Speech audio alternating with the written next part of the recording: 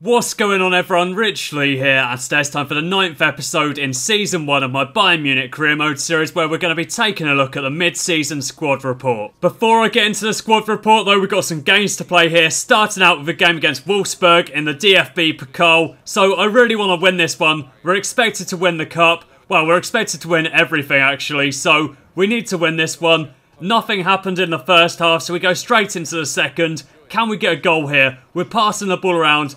Alonso's on the ball now. What's he going to do? Looks down the wing. He's going to get try and get a pass away to Robben. He does find him. Robben is going to try and get around his man here. Gets around Dante very easily. He gets around another Wolfsburg player. He's going to go for a shot from the edge of the box. That's off the post. Nearly a very early goal in the second half. As I say, nothing happened in the first half, but we're trying to make things happen now. We get a tackle in there with Lewandowski. And can we make that goal happen now? Lewandowski looks up, he sees Ribery running through, and he pokes it into the back of the net. It's 1-0 to the mighty Bayern Munich. Quality goal there from Ribery. Decent ball through from Lewandowski. Benaglio stood no chance whatsoever. He just poked it underneath him. Makes it 1-0 to Bayern. And now we've got another chance here. Vidal plays that through. We should be scoring that one. But it goes wide. We've got another chance here with Lahm. Crossing it into the box. And Lewandowski, I think it was, got absolutely clattered there. Look at that on the replay. The keeper completely destroys him. And now Wolfsburg have got a chance here late on in the game. Are they going to get a late equaliser? It looks like it. Yes, they are. It's 1-all. Decent finish there from the Wolfsburg player. Wasn't much I could do about it. He was in so much space. Smashes it into the back of the net. And he makes it 1-1. This one is going to extra time. Who's going to win it? Wolfsburg are playing the ball around now. Dante is on the ball. Looks a bit nervous. We're trying to get a tackle in there. We do get a foot in with Martinez. He plays that across to Lewandowski. And can we get another goal here? Can we make it 2-1? Yes, we can. That was a bit too close to the keeper for my liking, as you'll see on the replay. But we do score that one. Keeper should have done better, I feel. It was right next to his foot, as you possibly see on this replay, but definitely on the third one. And yeah, like I say, he should have done better with that. I didn't hit it as cleanly as I would have liked. But it is in the back of the net. It is 2-1 to Bayern. And can we maybe get another goal here? We've got control of it with Philip Lahm. They've got the ball back, but they play it straight back to us. Lewandowski's on it. He plays that over the top for Vidal. He's running through on goal now. Surely this is a goal. Yes, it is. It's 3-1. That's got to be game over now. Wolfsburg won't be coming back from this one. We're into the next round of the DFB Pokal. Next up then we got a game against Hanover and this is the final game before the winter break. So let's try and pick up a massive win here. That would be absolutely awesome. Hanover aren't the best team in the world. We are one of the best teams in the world. So we should be winning this one. But we're quite inconsistent. But we do start the game with a goal through Thomas Müller.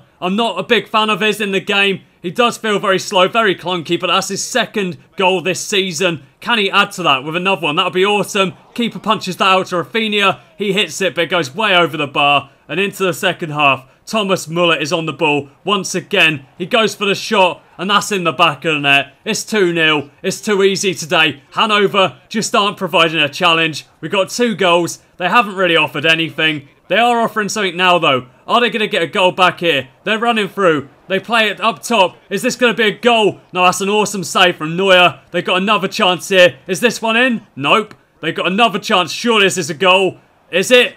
No, it's another save from Neuer. We've got a chance now, though. Can we get a third goal? That would be awesome. Vidal plays the ball through to Demarai Gray. He looks up, goes for the finesse shot, and what a goal that is. That's his first goal for the club. First goal since signing from Birmingham. And that is just an absolute beauty of a goal into the corner of the net to make it 3-0. They're determined to get a goal back here though. They're running through on goal. They play it through. And finally, they do get one goal. It's only a consolation goal. It's late in the game. They're not going to get back into this one. But they have made it 3-1, and that's the way that the game finishes. Before I take you through the squad report then, I just want to take a look through the youth academy. And starting out here, we've got Christopher Platins. He's 16 years old, 59 rated at the moment, 64 to 82 potential. The next player I'm looking at then is Felix Kuchka. He's 52 rated at the moment, 68 to 84 potential. Again, his physical stats are okay. He doesn't look amazing, but he's worth keeping about and he might come good. Fernando Braga is Brazilian, 15 years old, 48 rated at the moment, 79 to 93 potential, so he looks like he could be a top talent for us. Jardim is the highest rated player in the youth academy at the moment, 66 rated with 80 to 94 potential, and if you look at his stats, he's going to be an absolute free kick expert. Look at that, 71 free kick accuracy, 71 curve,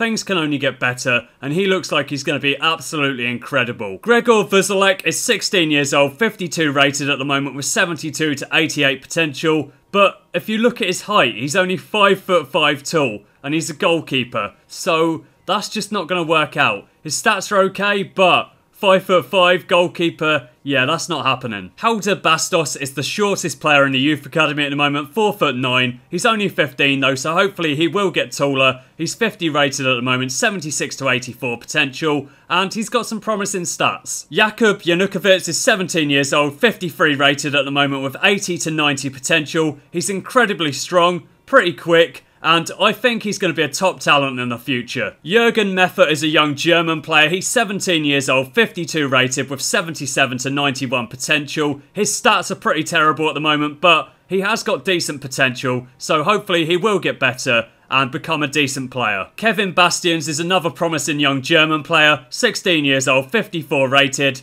78 to 92 potential. Some of his physical stats are absolutely incredible 76 acceleration, 74 sprint speed, 74 agility, and 71 balance. Teixeira is 15 years old, 40 rated at the moment, which is pretty poor, but he's got 75 to 94 potential. He's pretty quick, his physical stats aren't too bad, and I'm going to train him up massively and he should improve a lot. And here we have Sebastian Tomashik. He's already 60 rated at 15, which is very promising. He's got 83 to 94 potential, incredible curve, decent acceleration and sprint speed, and he is going to be an absolute monster in the future. Last but not least, then we got Thomas Avansky, 72 to 94 potential. He's got some absolutely awesome stats on him already, and I'm really looking forward to seeing how he develops. Moving on to the squad report then, Neuer remains a 90 rating, Ulreich's a 77, he's not changed at all either. Lukic has gone up by two ratings, but he's still only a 57 rating, so I don't think he's going to be good enough for the future. Rafinha is improving at 30 years old, but I do need to invest in a new right back at some point. I've only got Philip Lahm and Rafinha. They're both quite old, so I do need to bring in some fresh blood.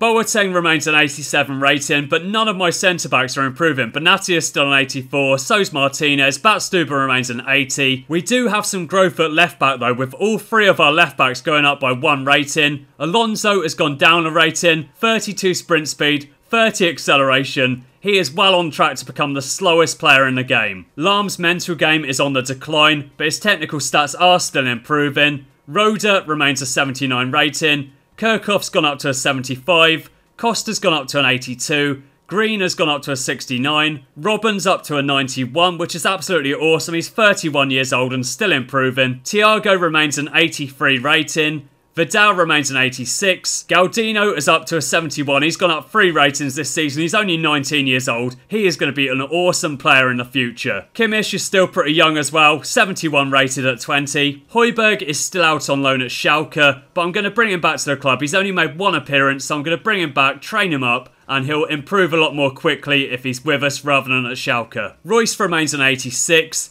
Demarai Gray has gone up to a 70, so that's absolutely awesome. Kurt has gone up three ratings already. He's 66 rated now. Ribery's on the decline. He's down to an 86. Goetze remains an 84, although he is improving. Muller's still an 86, and I'll probably look to move him on in the summer. And I'm not too sure if Patrick Weihrauch has really got a future at the club. He's only 63 rated at 21. Griezmann's technical game is improving massively. Kingsley Coman has gone up to a 71 rating, and Robert Lewandowski's technical game is improving. He's up to an 88 rating. So that's what the Bundesliga table looks like going into the winter break. Thanks for watching, and I'll catch you again soon.